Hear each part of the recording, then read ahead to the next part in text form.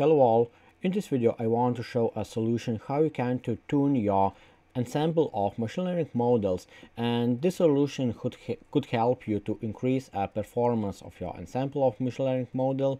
And uh, let's go uh, straightforward to apply it in binary classification problem.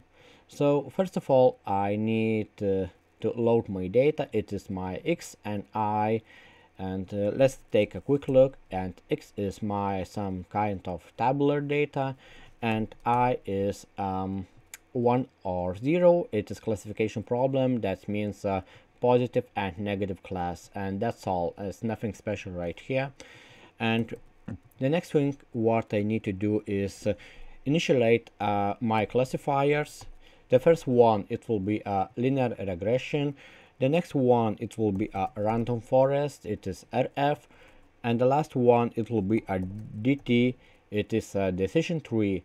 And uh, what i need to do to uh, perform these classifiers is to uh, import it from scikit-learn and this is a logistic regression. It is a random forest classifier. And here's a decision tree classifier. So logistic regression is going to be right here. Um, yeah right here.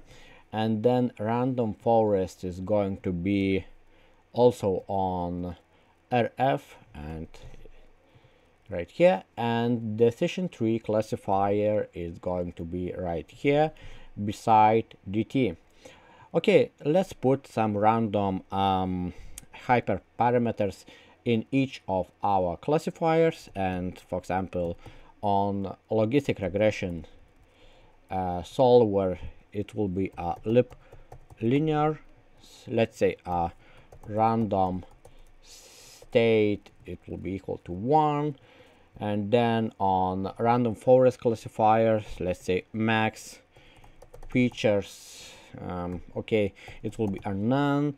Then n jobs it will be equal to 4 and then random state it will be equal also to 1 and then on decision tree classifier let's say criterion it will be equal to entropy then max features it will be equal to square root. And let's check if no errors it's in here. And logistic regression is not defined. Um, logistic uh, um, yeah logistic okay I just fix quickly this um, uh, classifier and here is no errors and I have uh, successfully defined my classifiers is uh, logistic regression, random forest and decision tree. Okay, let's go and what I need to uh, build right now is to create an ensemble of uh, my three classifiers. And for this I'm using a voting classifier. It is VC and voting classifiers could be imported also from scikit-learn it is a voting classifier. I put it in VC and uh, in here I need to initialize my classifiers into the list. It is the list and this is the space for the first one for the second one and for the last one. So the first one is uh, classifier number one. Here's a classifier number two. Um, and here's a classifier number three. And classifier number one is uh, my linear regression is coming from here. And then the second one is a random forest is uh, right here. And the last one is uh, decision tree it's dt is coming here. And then what I need to do is to make a cross validation I need to get a cross validation score. Cross validation score and it can be also imported from scikit-learn and uh, what I need to do is from scikit-learn model se uh, selection import cross validation score. Um, something wrong. Uh, voting uh, ah I make this mistake.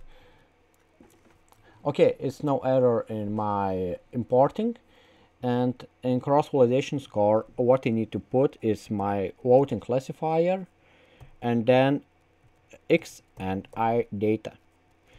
And what I need to get is the average value of my cross-validation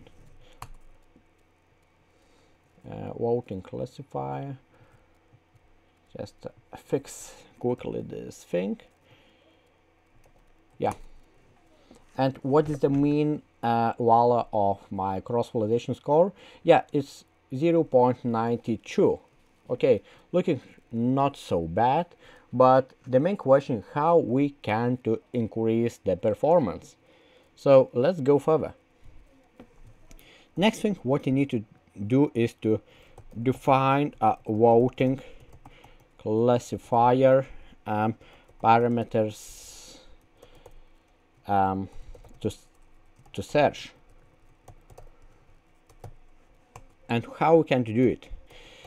We are using a grid search uh, cross-validation uh, method and we need to look the best uh, combination across the parameters like this. The voting let's say it can be equal to hard and soft.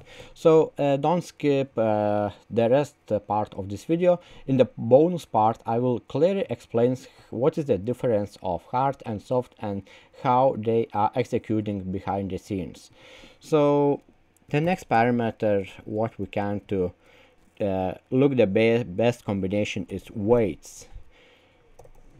And here's the weights of uh, uh, our classifier in our ensemble for example, 1, 1, and 1. That means that all our classifiers in our ensemble are in the same weight. They also uh, equal. The next combination can be a 2, 1, and 1. That means that the linear regression uh, should be uh, double uh, more meaningful than uh, random forest and decision tree.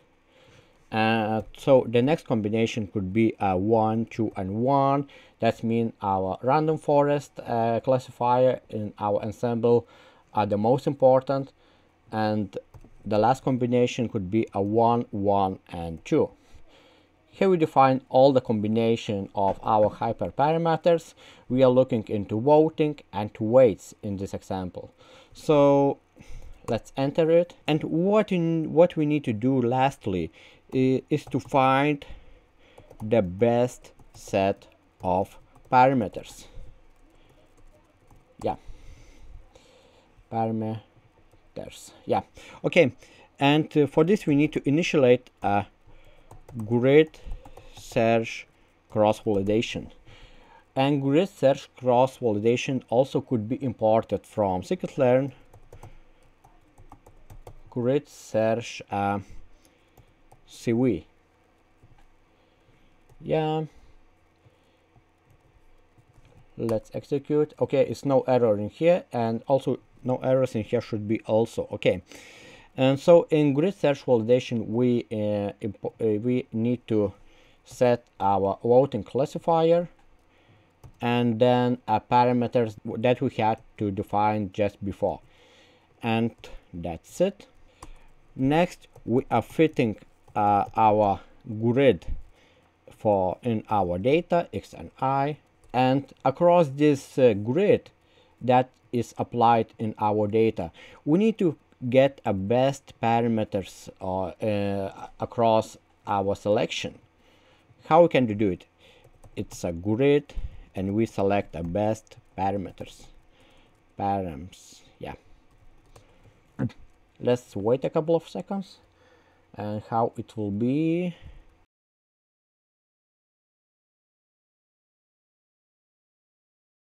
Okay and the best combination is voting. It's a hard it is working the best uh, and uh, the weight it will be a 1 to 1 that means that random forest is the most important classifier across our ensemble.